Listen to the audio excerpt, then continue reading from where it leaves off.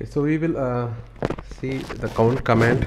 So count command uh, can be used for finding how many number of uh, files and directories and the size uh, this directory uses. So hdfs dfs hyphen count and directory name. So the results uh, will uh, display like this. The first part is the number of oh, sorry so number of directories inside this and uh, this is the number of uh, files and available count. So if I just check HDFS, DFS and LS and I can see the number of directories and number of files respectively. Right. So okay so I think uh, so this is taking uh, this directory also and uh, two files are there and directory and this is the size. If I use hyphen h flag along with the count so it will print the value in a, a more human readable format. So especially the size right? And if you have quota enabled then it will uh, list that information also. So what is the uh, quota? So whether it's set and uh, the what is the remaining quota and the space uh, quota available and the space quota remaining and number of files and number of directory number of directories and number of files and the size. Again this also if you want in a human readable format so hyphen h flag will do. So this is about the count command. So count command you can count uh, the uh, the number of files number of directories and the size also the quota information. The quota available then the remaining quota then uh, space quota and the available space quota and the remaining space quota so next uh, we will uh, see the command expunge so expunge command is used for cleaning the trash. So you can use hdfs dfs hyphen expu so there uh, suppose if you are deleting something so it will be stored inside the trash. Okay. So trash policy something. Okay so this will uh, clean the trash uh, file and based on the trash retention policy. So you can use expunge command to clear that. So next we will uh, see the rm command. Suppose if you want to delete something from hdfs so hdfs dfs and i uh, slash user training right? So this is the directory and i'm going to delete some files or directories uh, from here. So uh, I'm if I'm deleting this uh, file so I can use hdfs dfs hyphen rm then use that. So for a simple file so it will uh, delete uh, like this. But if you are uh, see and after deleting you can see a message like so it is going to trash. And if you check the trash so this file will be stored there certain period. So in case of uh, if you want to recover so you can copy the files back so you can just check uh, the contents of the trash hdfs dfs hyphen ls and see the content. Right. And uh, again if you want to delete a directory so that contains some files so you can use the same one with the option hyphen r so that it will recursively delete everything inside the directory. If the directory is non-empty so you have to use r okay so in uh, both case you can see after deleting so it is moving that uh, directories or the contents into trash and it will keep uh, some time. So even if you delete the file your effective hdfs usage is not reducing. And if you are sure like you don't need that file anymore and also in the trash also so and you need to clear some space you can use the skip trash option. So hdfs dfs hyphen r rm if it is a directory hyphen r then skip trash option you can use. So this option will make sure so we are not sending uh, this uh, data to trash after deletion. Okay right. So this is deleting and not sending to uh, trash. Okay so hdfs dfs ls slash user so I have some files over here. So next we will see how to uh, set uh, the replication factor. Okay. So you can see the for the directory so there is no point of replication factor. So uh, let me create one directory and show you. Hdfs dfs hyphen mkdir and inside that dir underscore test. So the replication factor is actually for files. For directory uh, just store as a metadata inside name node and it will not store actual uh, it will not consume any blocks in backend. So this is the directory. So the first flag will give. And uh, replication factor is 0 also the size is 0 so but uh, if any the files inside the directory definitely will consume uh, block space and uh, they will use some space right? So in my case okay so here i'm going to change the replication factor of this file. So this is 3 i don't want uh, 3 replication factor. To this i'm going to change it to 1 so for that we have an option like set rep command and hyphen w. What is the replication value we want to use? And the last the file name. Okay? So hdfs dfs hyphen set rep so I can set the replication factor to 1 for this file. So it will take some time because it has to delete some of the blocks and uh, to do some configuration and it the time depends on the size of the file. So now if I again I check uh, the uh, replication factor and other values. So we can see that replication file1.txt has changed to 1 suppose if you want to change okay so let me check the contents inside that hdfs dfs hyphen ls so nothing is there i think i need to upload some file. So i will show you how to change at the directory level.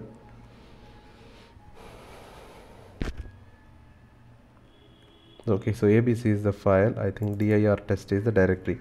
So let me upload some file. Okay so hdfs dfs hyphen put this directory.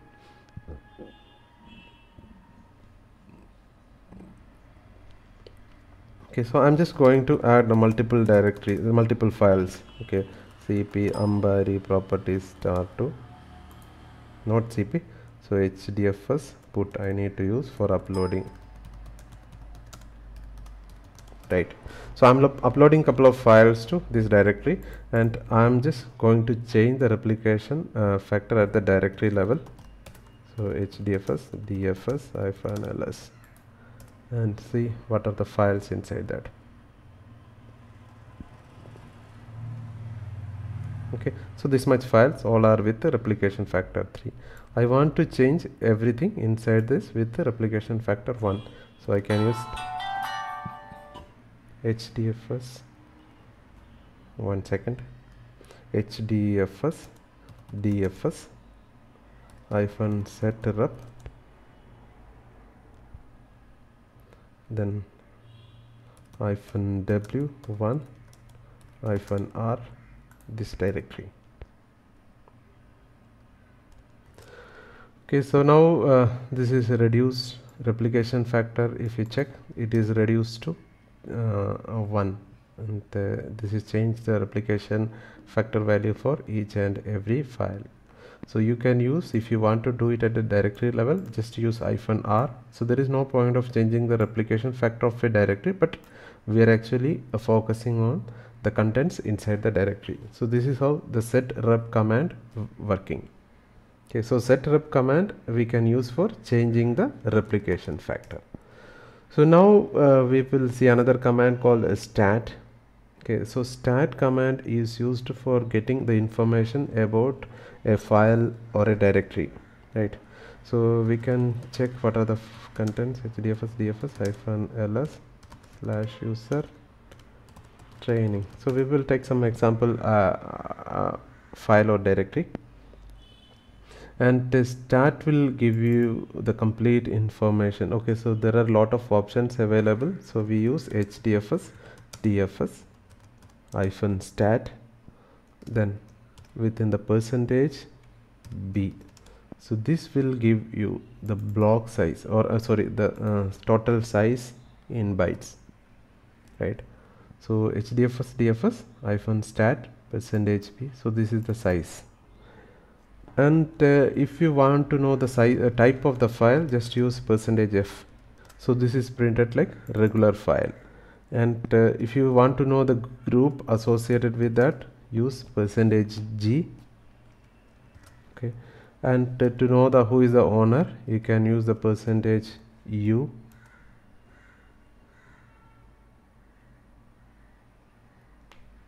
Okay. And uh, percentage n will give you the file name.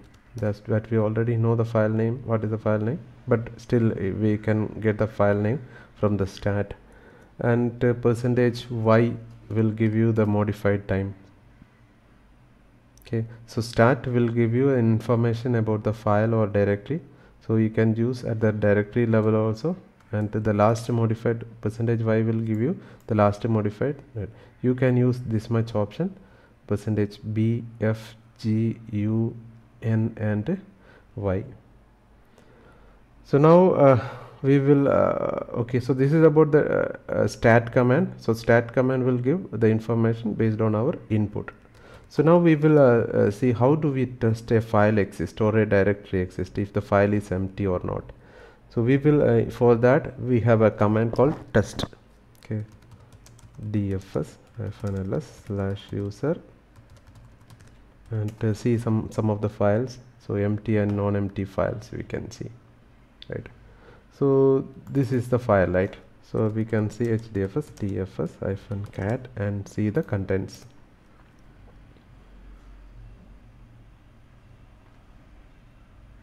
Okay so this file is this is a regular file.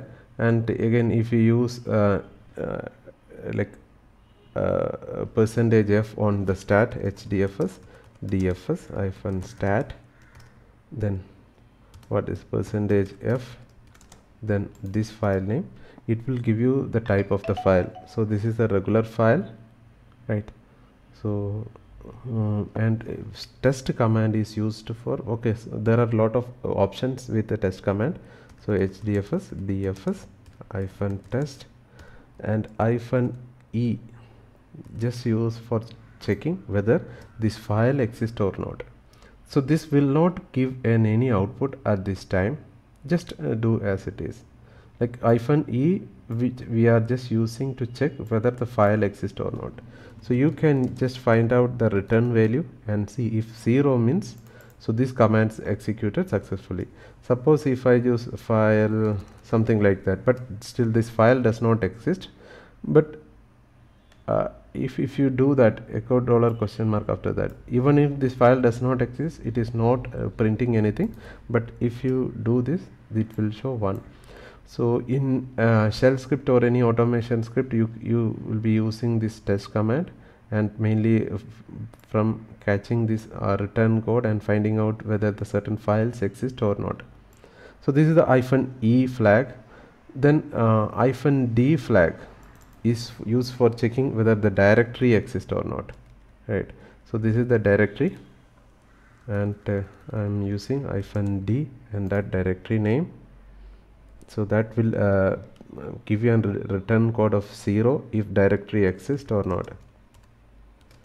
And return code 1 means see if, if something like I'm just trying for a directory which does not exist then return code will be non-zero right similarly uh, we can test whether the contents file is empty or not okay so the test command is used for testing whether the file exists or it's a directory exists or a file is empty or not. Okay. So now uh, we will see one more command like how to create an empty uh, file in inside HDFS. So similar to touch command in Unix, there is a command touch. So HDFS DFS hyphen touch slash user. So my test file dot or any uh, this without extension also fine right? So this will create an empty file. So if, uh, our previous command test can be used for finding whether a file is empty or not. So we can use hdfs dfs hyphen test hyphen z so this has to give a value return value of 0 so we use the unix command dollar question mark uh, variable to find out the return value. Suppose if I use it for uh, some file okay so which already exists and have some value. So I use hdfs dfs hyphen test hyphen z. Then actually this file is not empty but I'm just checking with hyphen z flag. So if I use echo dollar question mark so that will that is giving one. That means this file is not empty. Something is there inside this file. So you can use the cat command to read the contents. So these are the some of the uh, common HDFS commands we use in uh, most common uh, commonly as part of our day-to-day -day administration or development activities so please uh, do some exercise by using uh, this command. And also if you want to know uh, the details about the command go to the uh, google and type hdfs uh, dfs commands and that will give you a link like this. So you can just go through this and everything with proper explanation is here. So just read at least once and try some exercise so i hope uh, you are uh, clear with this hdfs commands uh, thanks for watching. And uh, if you have any questions so please use the comment box to write your comments. Also subscribe to my channel to get more updates. Thank you. Bye